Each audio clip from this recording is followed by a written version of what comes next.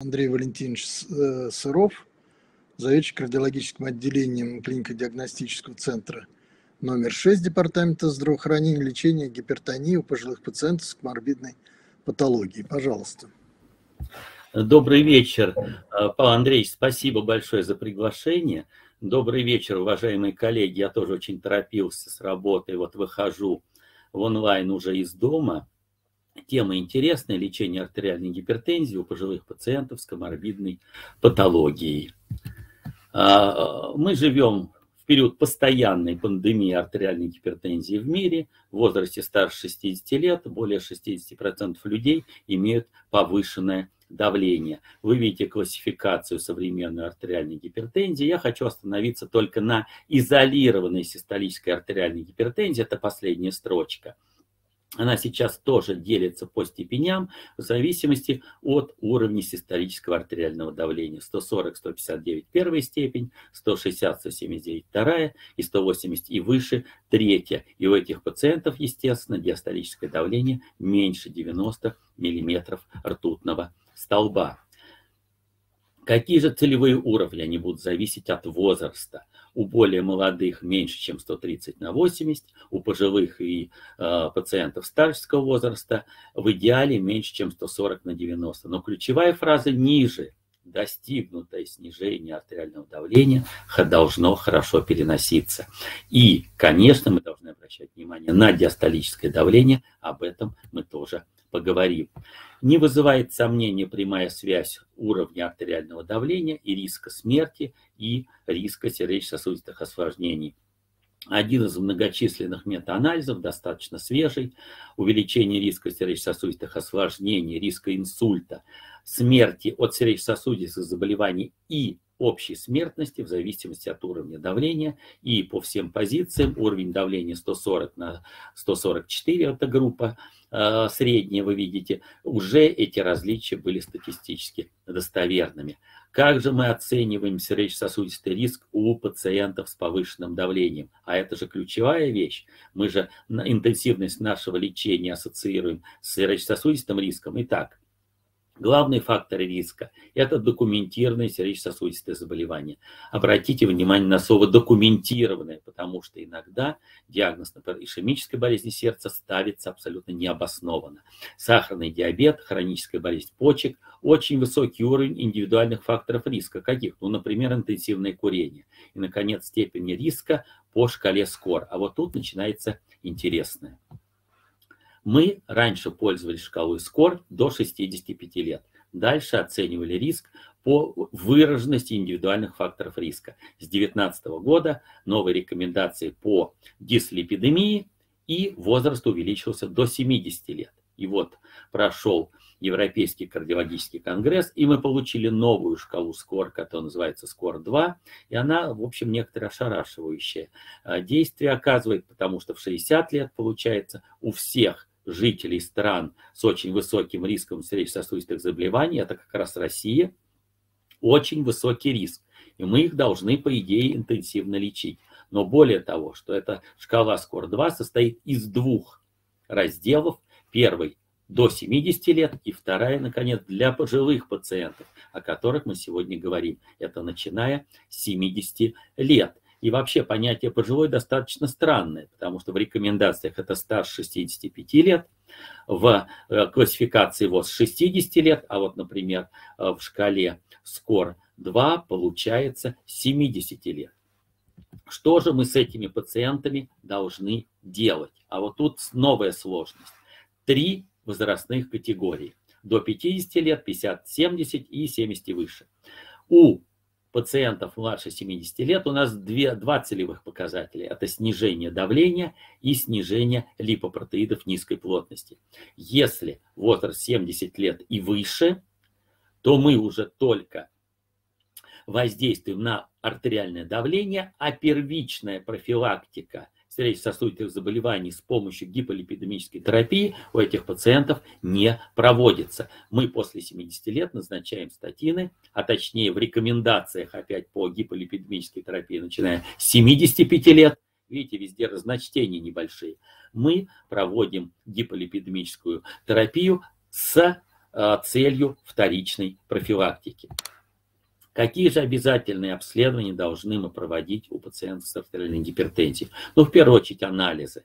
Это клинический анализ крови, анализ на глюкозу, липидный профиль, электролиты, мочевую кислоту, билирубин, аланин трансаминазу, потому что мы, может быть, статины назначим, креатинин, с расчетом скорости клубочковой фильтрации, если пациент получает антикоагулянты, то клиренса креатинина, клинический анализ крови альбуминурия, то есть альбумин-креатининовое соотношение в утренней порции мочи и кардиограмм.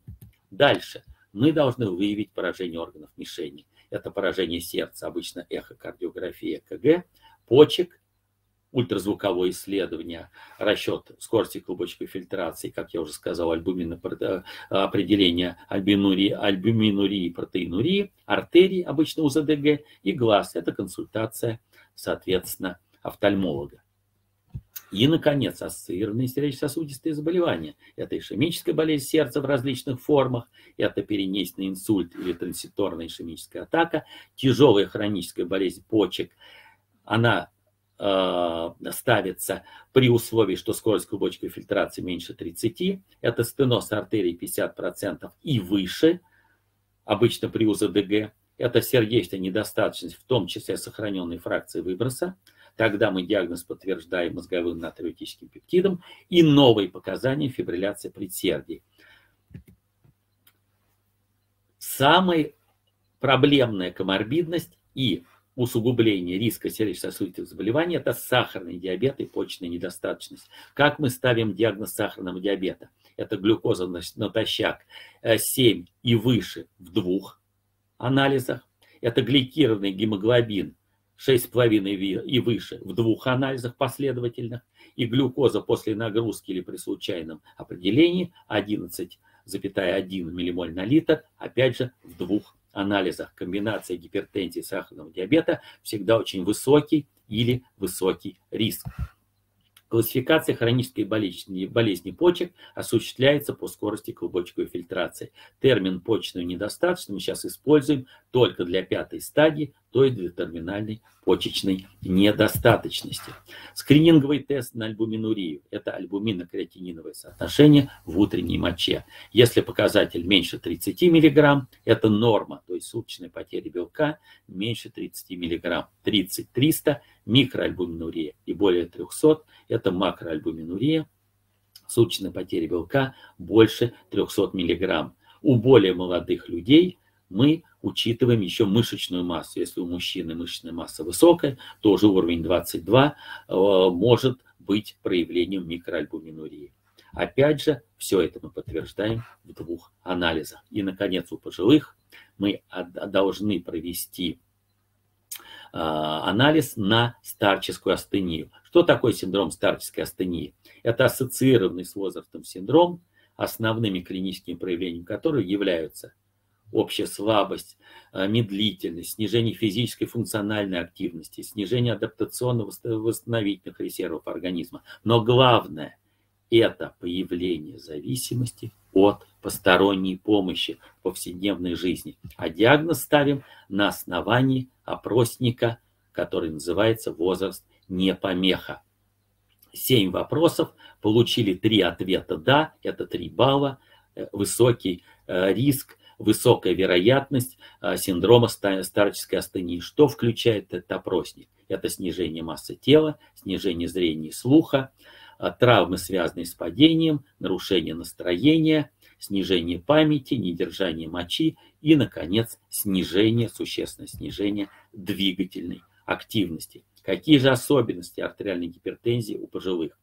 Высокое давление у пожилого человека может быть компенсаторным механизмом для поддержания перфузии органов и в конечном счете будет предотвращать заболеваемость и функциональный э, дефицит. Поэтому мы должны не прозевать ортостатическую гипотонию, если начали лечить этих пациентов, потому что ортостатическая гипотония является независимым фактором риска астении, падений, сердечно-сосудистых осложнений и смертности. Что мы должны делать? Во-первых, правильно измерять давление. Не буду останавливаться, два измерения, большая разница. Э, меряем третий раз, берем средний между вторым и третьим измерением. И проверяем ортостатическую реакцию, измеряя давление стоя через 1-3 минуты после вставания и обучаем наших пациентов это делать дома снижение систолического давления на 20 мм или выше, и дистолического на 10 или выше, это критерий ортостатической гипотензии, мы должны предпринимать соответствующие меры. И в первую очередь, если мы проводим гипотензивную терапию, нужна срочная ее коррекция. Как же мы лечим в зависимости от возраста? Возраст старше 60 или 65 лет. В разных рекомендациях по-разному. Начало в зависимости от риска сердечно-сосудистых а, событий. А, систолическое давление 140 и выше является основанием для начала лечения. Если мы видим слабость у пациентов, а, плохо передвигается, мы обязательно должны провести скрининг на синдром старческой асцении с помощью опросника «Возраст не помеха», о котором мы только что с вами поговорили. 80 лет и старше и нет старческой астении, астении. Антигипертензивная терапия нужна при систолическом, систолическом давлении 160 и выше. Если человеку 80 лет и давление 150, не надо его трогать, пусть спокойно живет.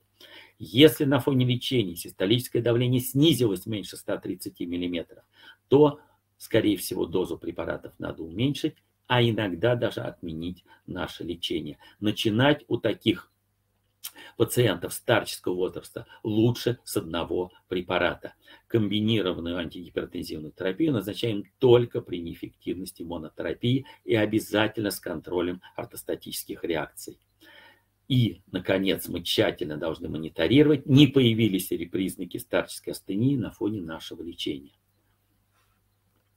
Начало антигипертензивной терапии и смена лекарственных препаратов может быть ассоциирована с повышением риска падения. А если 80 лет и старческая астения, индивидуальный подход перед тем, как принять решение. Может быть и при давлении 160 мы не будем трогать пациента. Если у пациента возраст 60-65 лет, мы начинаем лечение, очень часто мы будем применять сразу комбинированный препарат или препарат из любой, из любой рекомендованной группы.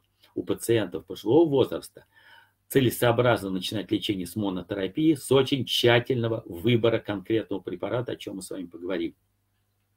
И, наконец, мы обязательно должны оценить переносимость лечения и отмена антигипертензивной терапии только на основании возраста. Человек принимает препараты, давление у него на целевом уровне, он чувствует себя хорошо, он становится старше, мы можем терапию не менять, если этот уровень давления хорошо переносится. Изолированная систолическая артериальная гипертензия развивается у пожилых людей в связи с нарушением эластичности сосудов на что указывает повышение пульсового давления. Пульсовое давление – независимый фактор риска. И вот тут мы сталкиваемся с уровнем диастолического давления. В идеале лучше не снижать меньше, чем 65-70 мм ртутного столба. Но есть отдельные пациенты, у которых мы снижаем низко, до, ниже, до 60. Иногда даже чуть ниже 60, они хорошо переносят. Тут надо очень четко следить за этими пациентами. Снижение давления меньше 50 будет усугублять все осложнения. Ни в коем случае допускать такого снижения давления нельзя. Ориентируемся все-таки на диастолическое давление, по возможности 65-70, ну в крайнем случае до 60. Чрезмерное снижение диастолического давления, повышение риска сердечно-сосудистых осложнений, смертности и других неблагоприятных сердечно-сосудистых исходов начало антигипертензивной терапии может быть начато уже на уровне 140 мм ртутного столба. Однако чаще мы начинаем, если человек очень существенного возраста, с давления где-то на уровне 160. И все-таки надо очень хорошо принять решение, как начать это лечение, с монотерапией или с двойной. Если давление 160 и выше, скорее всего, мы сразу назначим двойную терапию в небольших дозах, при условии, что человек младше, конечно, 80 лет. Если пациентов с альбуминурией, хронической болезнью почек, а, мы должны начинать лечить, мы всегда начинаем лечение с ингибиторов АПФ или блокаторов рецепторов ангиотензина, потому что они в большей степени а, снижают риск прогрессирования хронической болезни почек. Поэтому креатинин, расчетная скорость клубочки фильтрации – обязательный показатель. При лечении ингибиторами АПФ сортанами, а также тиазидными диуретиками необходим контроль скорости клубочковой фильтрации и уровня калия плазмы. То есть контрольный креатинин назначаем, э, контрольный э, уровень калия плазмы определяем. Бета-адреноблокаторы показаны только при комбинации артериальной гипертензии с ишемической болезнью сердца, сердечной недостаточностью, ну еще э, с определенными аритмиями. И у пациентов просто с, с повышением давления не снижают риск смертности, поэтому бета-блокаторы не должны быть препаратами первого ряда, не надо начинать таких пациентов лечить с бисопролола. Стартовая антигипертензивная терапия. Три основные группы – диуретики, блокаторы кальциевых каналов и блокаторы ренин-ангиотензин-альдостероновой системы, то есть ингибиторы АПФ и блокаторы рецепторов ангиотензина. Ингибиторы АПФ и сортаны вместе не назначаем. И за счет их механизма действия можем смело объединить в одну такую большую группу. Диуретики, блокаторы кальциевых каналов и блокатор ренин, ангиотензин, альдостероновой системы. Какие же требования мы предъявляем к антигипертензивному препарату? Ну, конечно, высокая эффективность и стабильность контроля давления в течение суток. Для нашей группы пациентов очень важно минимальный риск ортостатических реакций и органопротективные свойства метаболическая нейтральность, минимальное, минимальное количество побочных эффектов и отсутствие отрицательного лекарственного взаимодействия. То есть по возможности одним препаратом мы должны сразу воздействовать на несколько мишеней. Поэтому как мы будем выбирать препарат? Ну, в первую очередь по противопоказаниям. Тиазидные диуретики, противопоказания подагра.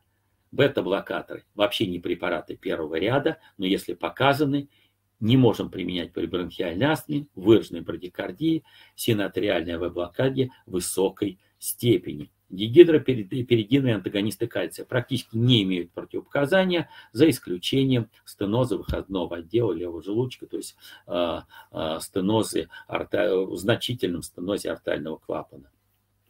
Пульсоурежающие антагонисты кальция, верпамил, диутиазем, похоже, тоже уступают основным группам. Мы стараемся их как препараты первого ряда не применять, но противопоказанием является, опять же, снижение э, пульса, частоты сердечных сокращений менее 60, то есть брадикардия, снижение систолической функции левого желудочка меньше 40% и синатриальная и АВ-блокада высокой степени. Ингибитор АПФ мы не можем применять при беременности, нам не актуально у пожилых пациентов, однако при гиперкалемии, двухстороннем стенозе почечных артерий. А для ингибиторов АПФ это еще ангионевротические отеки в анамнезе. Вот это пожилых людей касается очень сильно.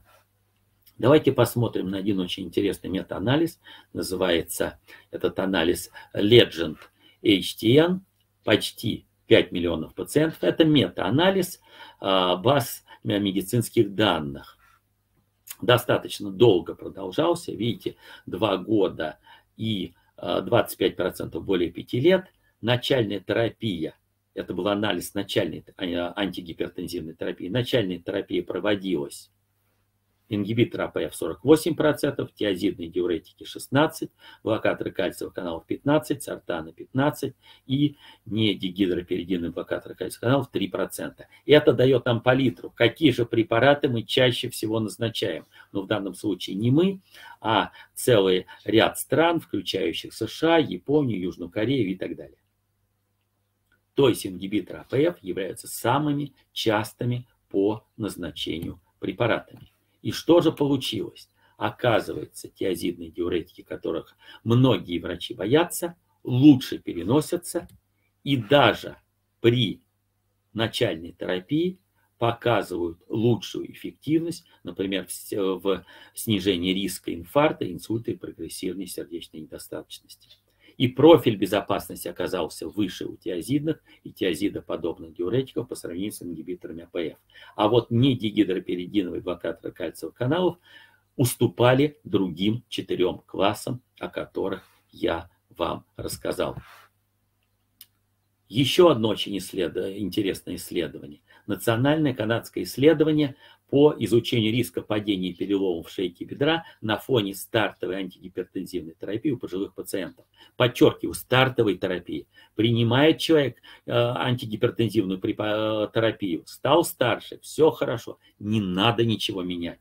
Но возникла необходимость начать, и мы должны понять, что при стартовой терапии увеличивается риск падений и, как следствие, перелом шейки бедра. И данная тенденция наблюдалась для большинства классов антигипертензивных препаратов и была статистически значимой для ингибиторов АПФ и бета-блокаторов. А самыми безопасными оказались опять тиазидные диуретики и блокаторы кальциевых каналов. И именно те препараты, которые нам особенно интересны при стартовой терапии у пожилых людей при отсутствии хронической болезни почек, потому что там мы должны защищать почки и начинаем всегда с ингибиторов АПФ или сортанов.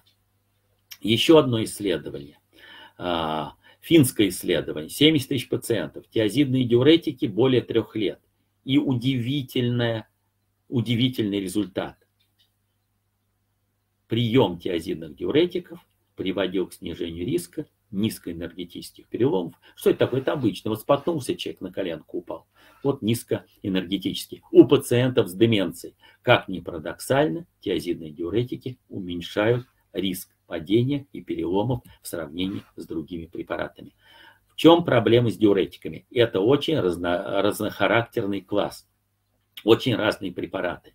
С метаболической точки зрения преимущество имеет эндопамид, однако мы должны помнить, что вот это метаболическое преимущество доказано в первую очередь в уникальном исследовании Хивита, о котором мы поговорим, для дозы не выше 1,5 мг в сутки. И еще, если скорость клубочковой фильтрации снижается меньше 45, эффективность азидных диуретиков сильно падает. Меньше 30 не работают, мы должны применять только петлевые диуретики, препаратом выбора будет торосемид.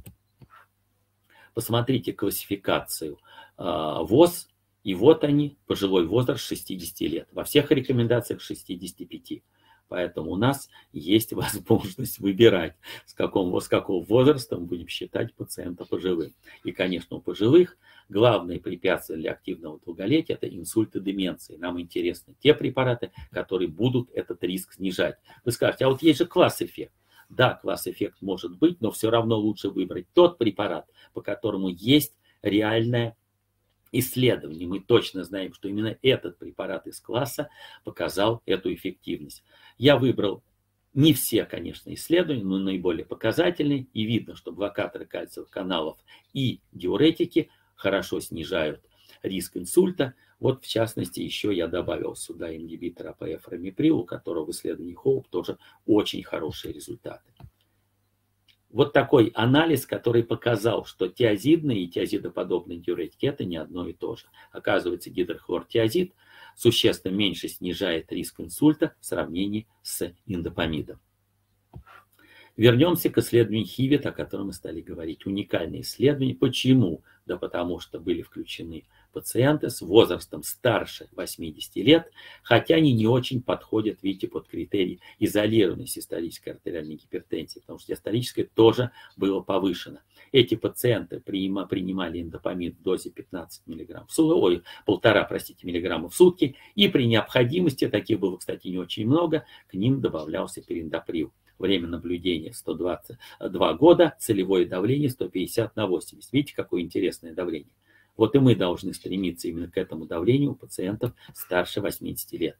Потрясающие результаты, снижение смертности, сердечной недостаточности, сердечно-сосудистых событий, но главное, посмотрите внизу, не отмечено достоверного различия в уровне калия, мочевой кислоты, глюкозы и креатинина. То есть лечение эндопамидом в дозе до полутора миллиграмм, ну, включая полтора миллиграмма в сутки, у пациентов старше 80 э, лет было эффективным и метаболически, ну, практически нейтральным. Вы скажете, странно, как же диуретик и вот так вот. На самом деле у эндопамида механизм действия по снижению давления достаточно сложный. Диуретический эффект не является основным. К нему добавляется прямой сосудорасширяющий, непрямой антиагрегантный, антиоксидантный, антипролиферативный и церебропротективный. Вот сумма этих эффектов и дает хороший эффект от лечения этим препаратом. Особенность длительные действия, кстати, скажем честно, у хлортолидона еще больше, и после многократного приема терапевтический эффект ждем через одну-две недели, а максимум отсрочен к двум месяцам. Кстати, если вспомним таросемид, тоже месяц-полтора максимальный эффект. Диуретики требуют терпения, не надо ждать эффекта через несколько дней. Максимальный гипотензивный эффект в дозе 2,5 мг, однако у очень пожилых пациентов смысла, наверное, назначать индопамид в такой дозе немного. Влияние препаратов на частоту развития деменции. В принципе, таких препаратов нет. Практически никто этого эффекта не показал. Есть одно уникальное исследование СИС-Евро с нитрандипином, где было достоверное снижение типа деменции. И мы должны понимать, что контроль артериального давления снижает риск смерти у пожилых пациентов, ну а с деменцией уж, как говорится, что получится. Но давайте обратим внимание на нитрандипин как на препарат. Есть ли у него особенности? Есть в лабораторных условиях было показано влияние на транспорт бета-амилоида, который отвечает за развитие болезни Альцгеймера. И второе, э, а вторая особенность у препарата – очень быстрое начало действия, уникальное, буквально через 1-2 часа.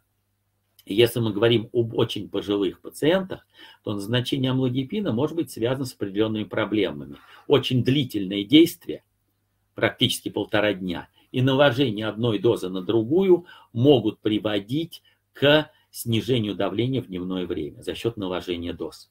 Поэтому в этой ситуации лучше перейти на препарат более короткого действия. Какой? Любой.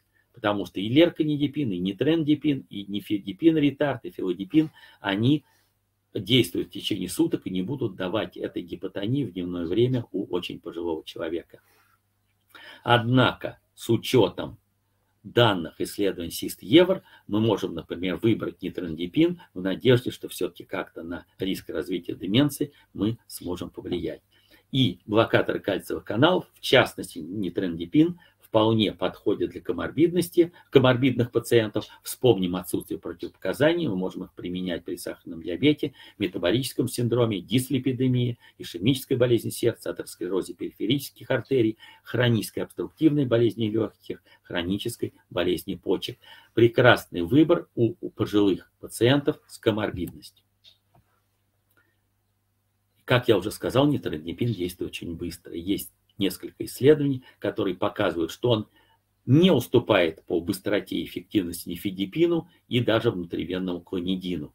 Поэтому, если у пожилого человека, который принимает нитрандипин, ничего под руками нет, или же ему, как он говорит, капотен не помогает, возможно дополнительный прием нитрандипина, и он получит быстрый эффект. Это тоже положительное свойство препарата. Есть несколько исследований, которые пока сравнивали э, эффект комбинированной терапии на риск инсульта. И выяснилось, что именно комбинация э, блокаторов кальциевых, кальциевых каналов дегидроперитинового ряда и диуретика – самая лучшая комбинация по снижению риска инсульта.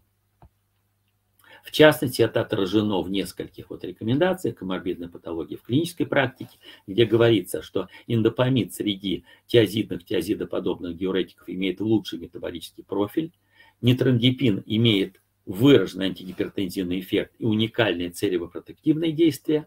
И главное, комбинация будет снижать риск инсульта максимально, но что нам для пожилых пациентов еще важно? Естественно, вы скажете, цена. Да, препараты недорогие, но еще возможность очень точной подбора дозы.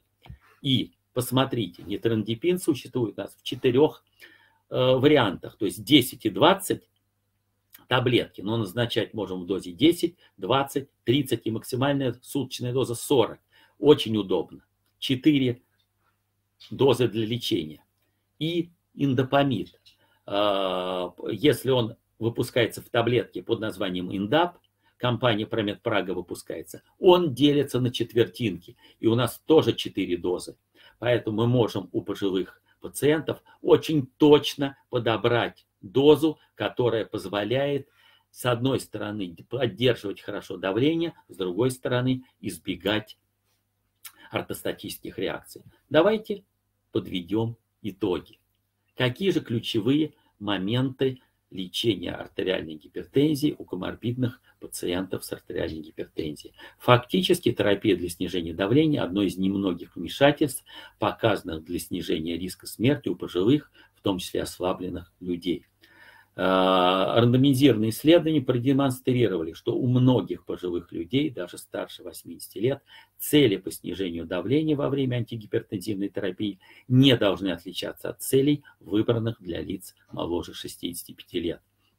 Ни одно рандомизированное исследование по снижению артериального давления у лиц старше 65 э, лет не показало вреда или меньшей пользы для пожилых людей по сравнению с более молодыми людьми. Однако, однако клиницисты должны проводить тщательное титрование снижения давления, оценивать его переносимость, Особенно это мониторинг требуется у лиц пожилого и старческого возраста и у лиц с коморбидной патологией. Обязательно тест на ортостатические реакции и переносимость препаратов.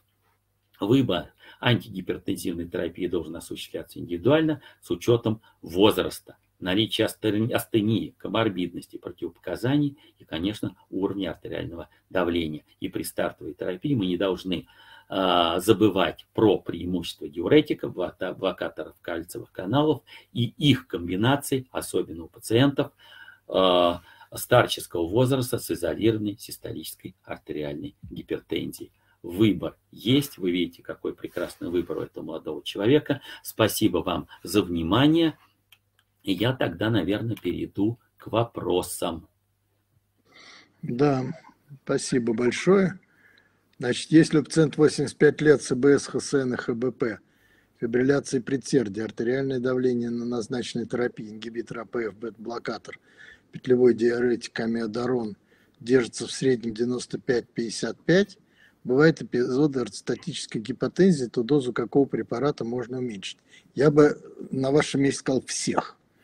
Ну, Вы знаете, Павел Андреевич, а я с вами, наверное, соглашусь.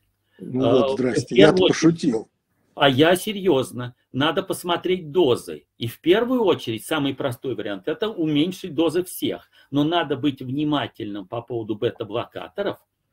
И главное, я вообще не понимаю, как в таком возрасте мы даем и амиодарон, и бета-блокатор. Насколько это вообще нужно такая комбинация у пациента с таким возраст, в таком возрасте. Поэтому, если это пароксизмальные формы, вы очень хотите все-таки удержать ритм, ну, оставьте амиодарон, хотя не забывайте, какое количество осложнений он дает, сердечных. Вот. А так, в принципе, постараться все дозы уменьшить и все-таки решить убрать либо бета-блокатор, либо амиодарон. Я бы начал так. Там вот э, пишет, что это же частая желудочковая экстрасистола – поэтому кардиолог назначил бета-блокатор. Смотрите, э, надо быть честным, что амиодарон, да, улучшит, скажем так, наши показатели, но даже при частой желудочковой экстрасистолии он жизнь не удлинит нашего пациента. Надо посмотреть, а может быть бета-блокатор будет достаточно? Или же уж, понимаете, ну совсем должны быть маленькие дозы, микроскопические, и главное следить еще и за пульсом.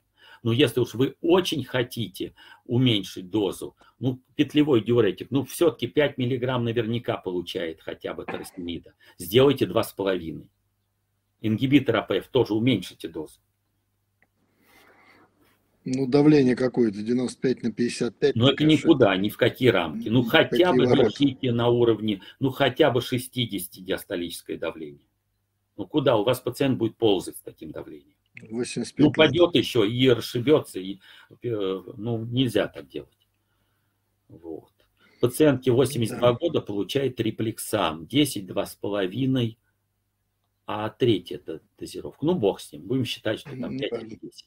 Давление, Давление 120, 100... на... да. Давление 120 да. на 75,8 переносится хорошо.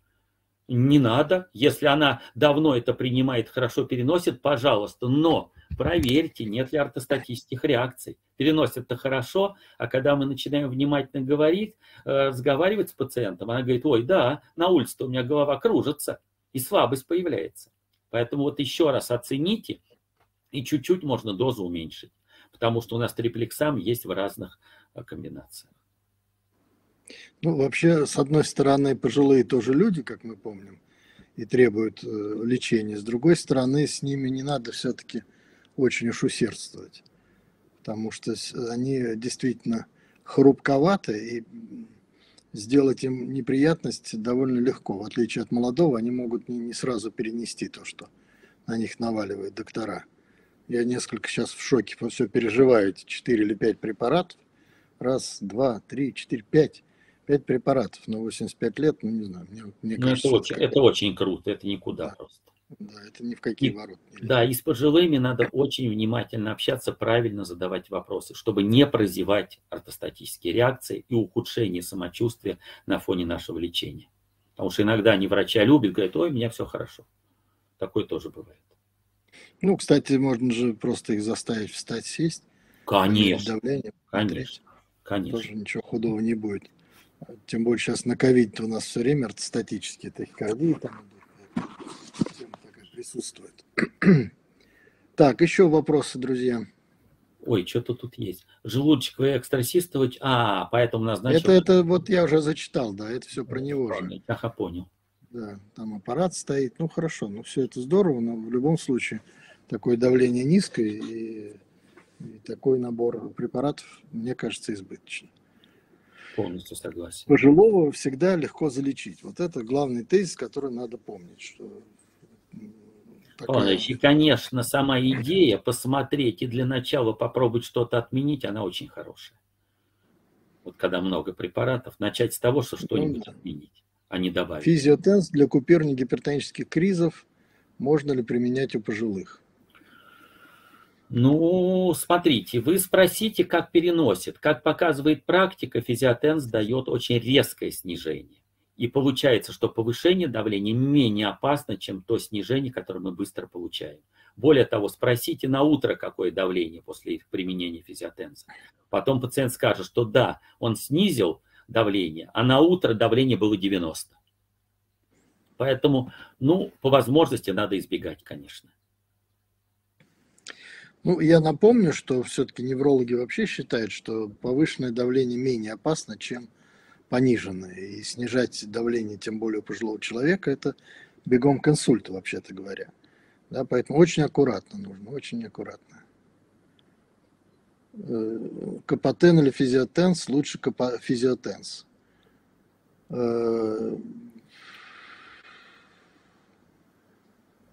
Так, э, сможете не по теме. Подросток 15 лет, тучность 100 килограмм, давление 120 на 20 на 20, я не понимаю. Посоветуйтесь минимальный перечень диагностических процедур для постановки корректного диагноза. Так 120 на 20 или что? Какое давление-то?